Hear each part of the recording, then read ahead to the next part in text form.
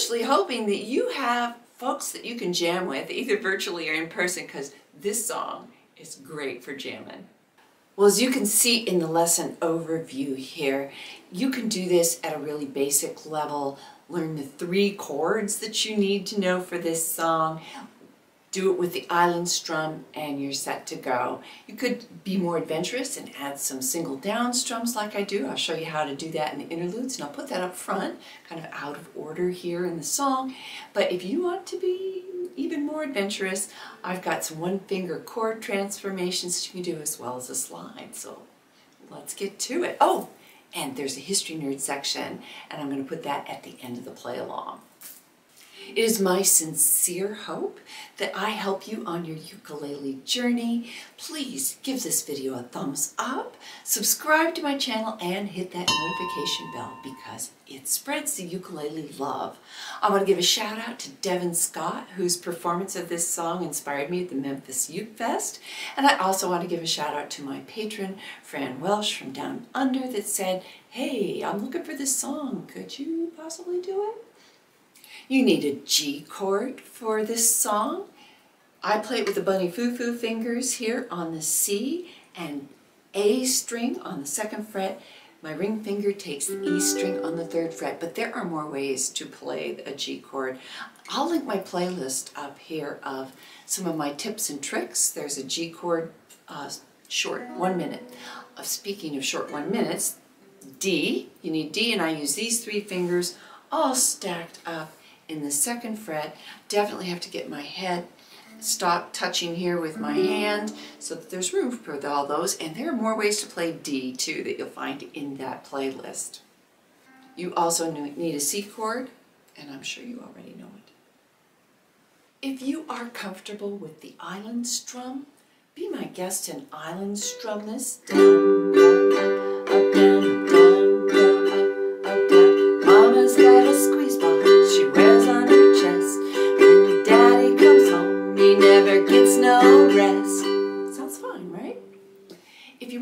more adventurous, try what I call the super active island strum. We are going to double up on the first two beats and instead of just going down, down, up, we're going to go down, up, down, up.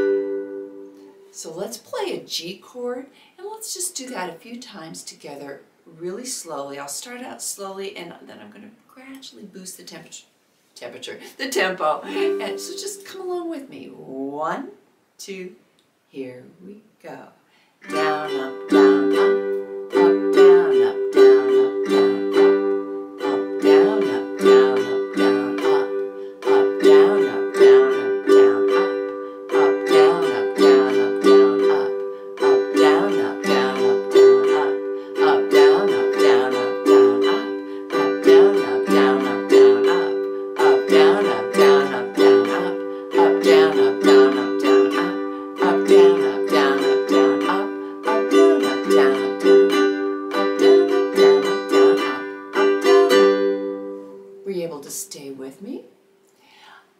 talk about the interludes, I'm going to have a little practice session with the chords from the song on there, but I wanted to talk about the interludes for folks that are just doing the island strum.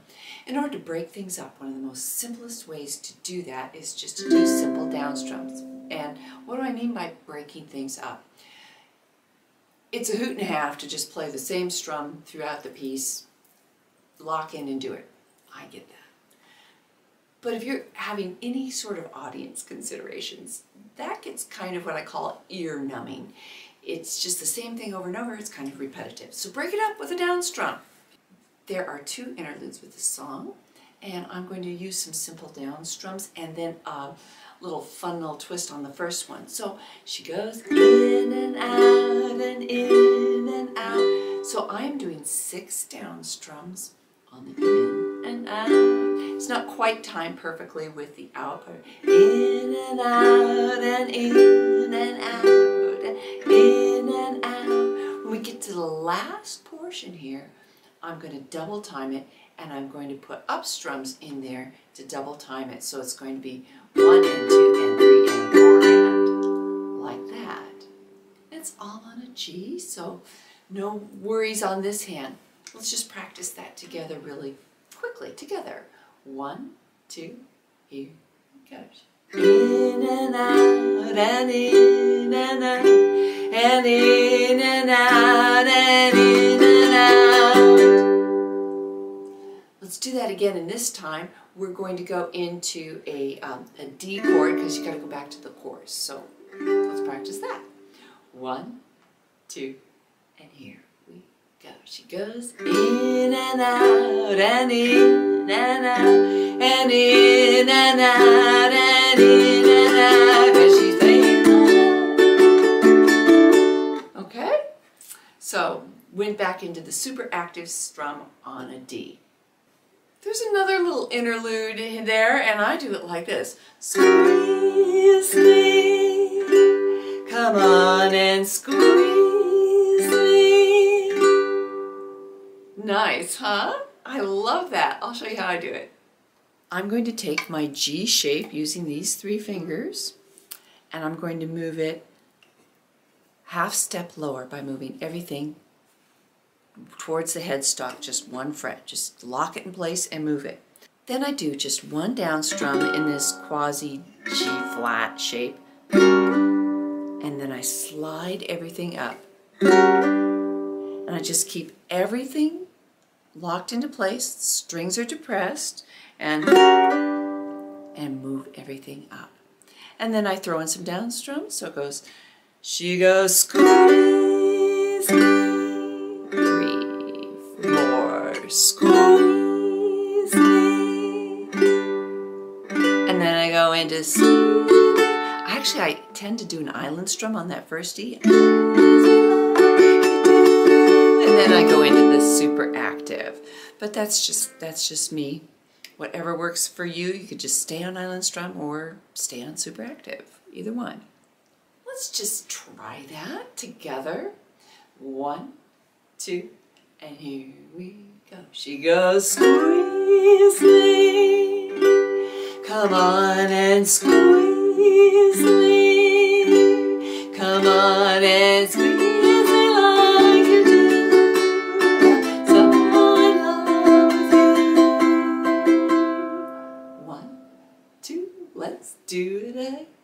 She goes, squeeze me, come on and squeeze me, come on and squeeze me like you do. I'm so in love with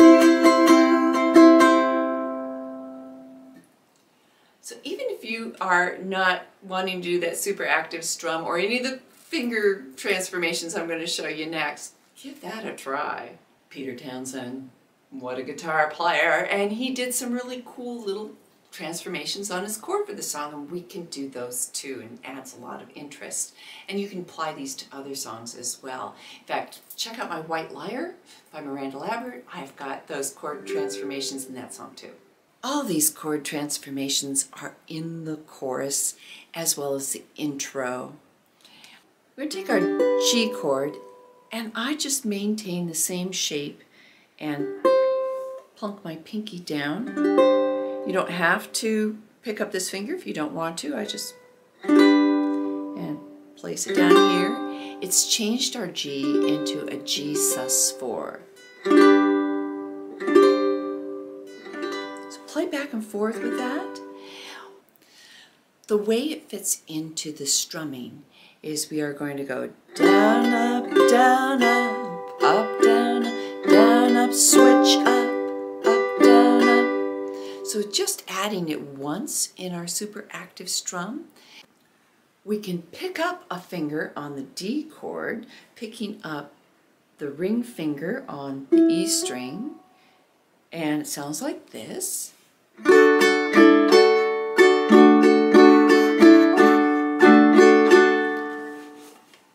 happens with the exact same placement in the strum as we did with the G.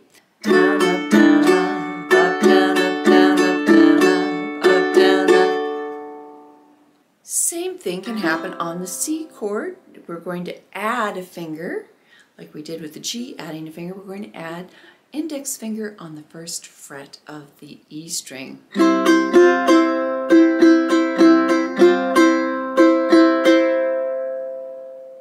Let's layer those in and put them with the chords from the chorus. Let's work on the G first. It happens in the very last line of the chorus. Let's do one super active island strum on the C, and then we're going to do four Gs. One, two, one, two, ready, begin.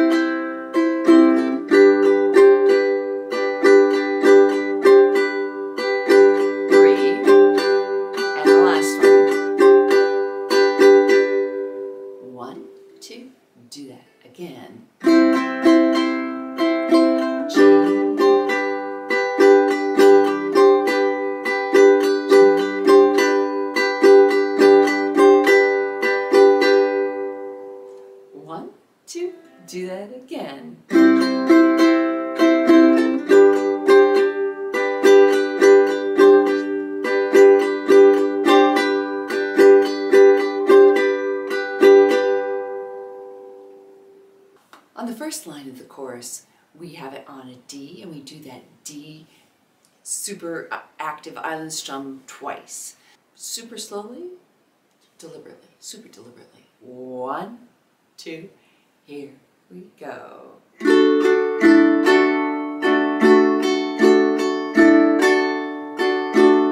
One, two, do that again.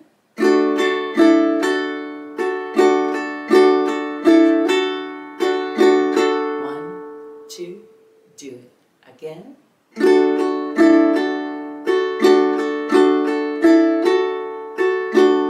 One, two, the last time.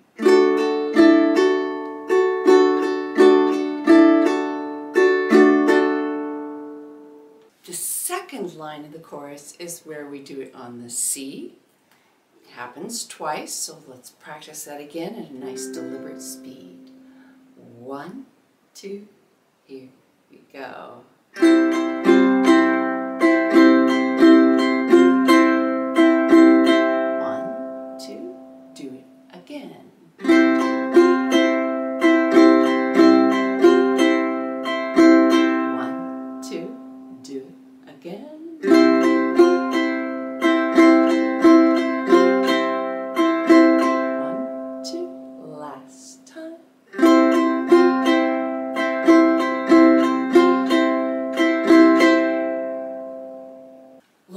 Through the box diagram of the chorus.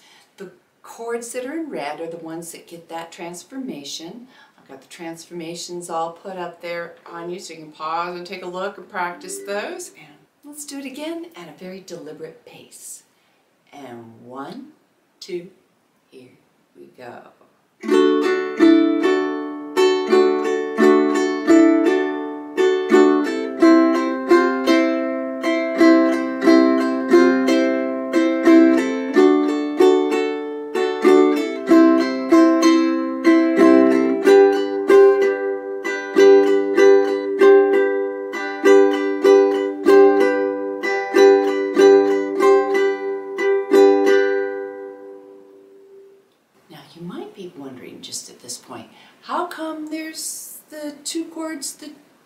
It? Well, there's a lot of words going on in there and if you do something special and you do it all the time, it might not be so special. So kind of holding it reserved for when there's less lyrics, less activity going on there with the message of the song. Let's do it again. One, two, here we go.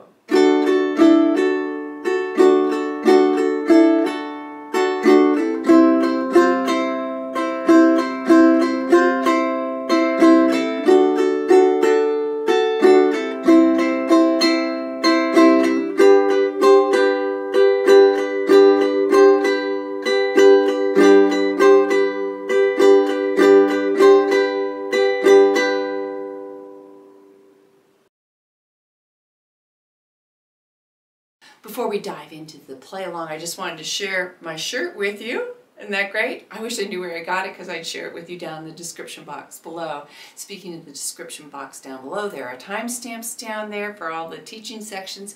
And there's also information about my Patreon site. Please consider joining me on Patreon if you'd like all my chord charts. I have other rewards like live sessions as well. And you're also supporting my charity efforts. So please and thank you.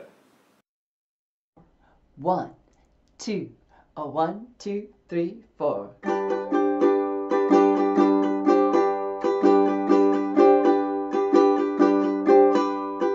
Mama's got a squeeze box she wears on her chest. And when daddy comes home, he never gets no rest. Cause she's playing all night. And the music's alright. Mama's got a squeeze box, daddy never sleeps at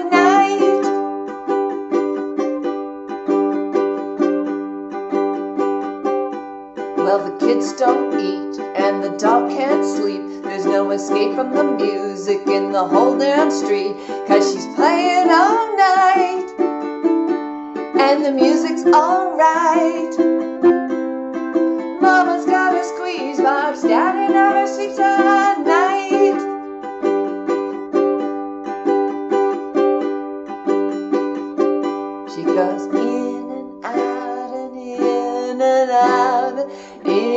out and in and out, cause she's playing all night. And the music's alright. Mama's got a squeeze box, daddy never sleeps at night.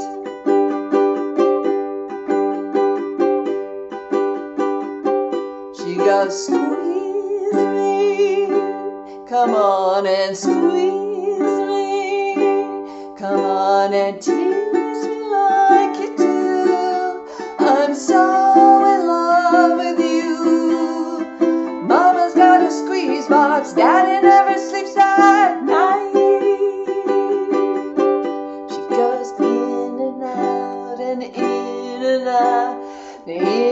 in and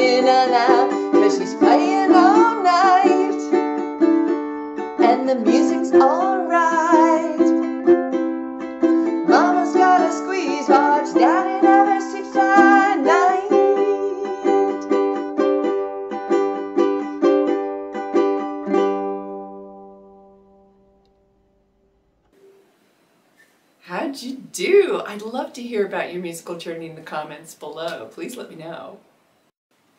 Oh, welcome to the History Nerds section. This is a favorite of my patrons. Thanks to all my patrons for supporting my work. I really, really appreciate you.